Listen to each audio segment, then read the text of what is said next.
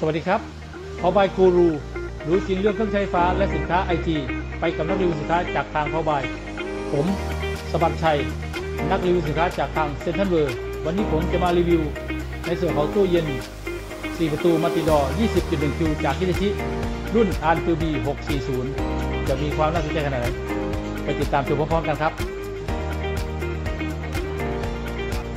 เบื้องต้นเรามาดูภายนอกกันเลยครับ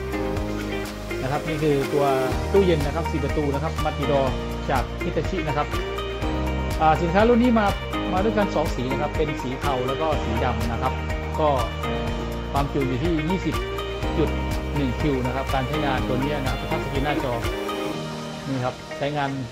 สะดวกสบายมากนะครับ ฟังก์ชันครบครันนะครับ โดยปุ่มด้านซ้ายตัวนี้ควบคุมทั้งหมดเลยควบคุม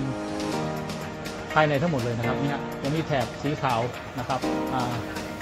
ในส่วนของตู้เย็นนะครับ ด้านบนสองส่วนสองประตูด้านบนนะครับควบคุมตัวนี้นะครับ ตัวนี้เป็น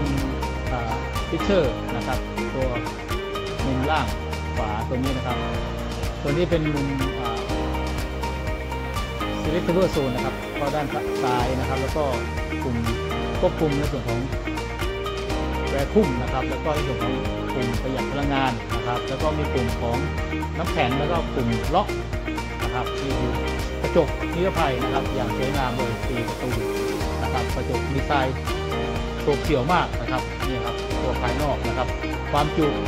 20.1 คิวนะครับตู้เย็นที่มีที่ตัวนี้นะครับเป็นรุ่นใหม่นะครับรับประกันคอมเพรสเซอร์ 10 ปีนะครับ ประหยัดไฟเบอร์ 5 2 ดาวนะครับ นี่คือภายนอกของตู้เย็นสี่ประตู multi-door ฮิตาชิครับ เดี๋ยวเรามาดู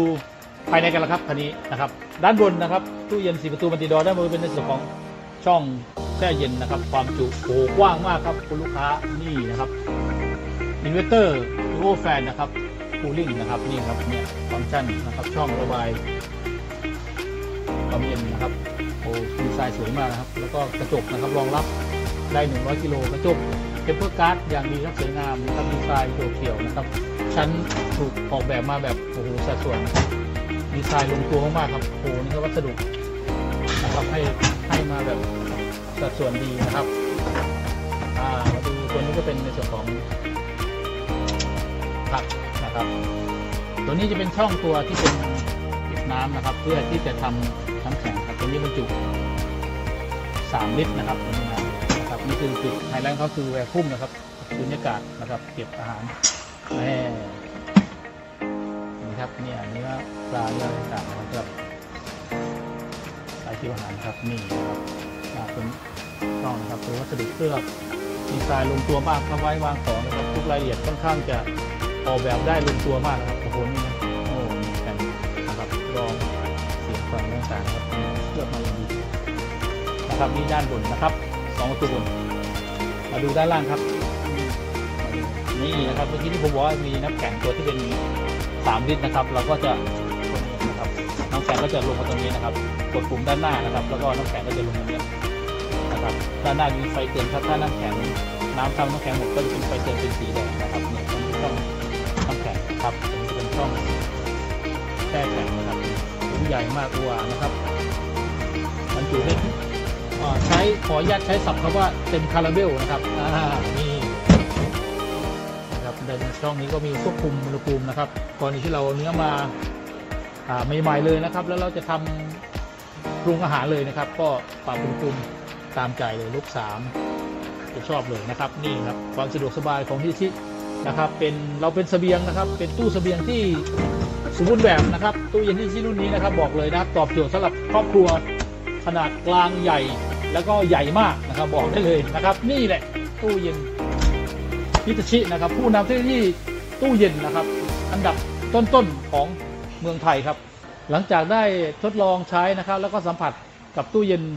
4 ประตูนะครับมันติดอของฮิตาชิรุ่นนี้นะครับ ก็มีข้อเด่นอยู่หลายข้อเลยนะครับ ข้อแรกก็คือในส่วนของ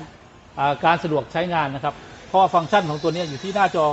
ด้านนี้เลยทัชสกรีนตัวนี้นะครับควบคุมการทำงานทั้งหมดเลยนะครับสะดวกสบายมากนะครับ ข้อ 2 ก็คือในส่วนของปุ่มที่เป็นในส่วนของฟังก์ชันแวร์คุมนะครับรักษา ความชุ่มชื้นของอาหารนะครับ ความสดความลงตัวของอาหารนะครับ แล้วก็ในส่วนของข้อ 3 ก็คือในส่วนของเลือกอุณหภูมิได้ตามใจชอบเลยนะครับ ในกรณีที่เราจะทำอาหารซื้อเนื้อม้ใหม่แล้วเราจะปรุงภายในชั่วโมงสองชั่วโมงตัวนี้เราเลือกอุณหภูมินะครับมันจะคงความสดให้เราแบบถึงใจเลยทีเดียวนะครับ เหมือนซื้อมาจากตลาดใหม่ๆเลยนะครับ นี่ก็เป็นข้อดีของฮิตาชิสี่ประตูครับ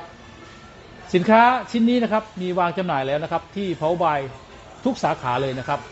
ทั้งหน้าร้านนะครับ หรือว่าออนไลน์นะครับ ออนไลน์เราก็ยังมีในส่วนของช่องทางในส่วนของ Line Facebook นะครับ หรือว่า w w w p o w b y c o t h หรือว่า